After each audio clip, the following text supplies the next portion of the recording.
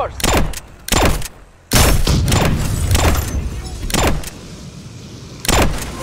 You Can't just sit on this building alone.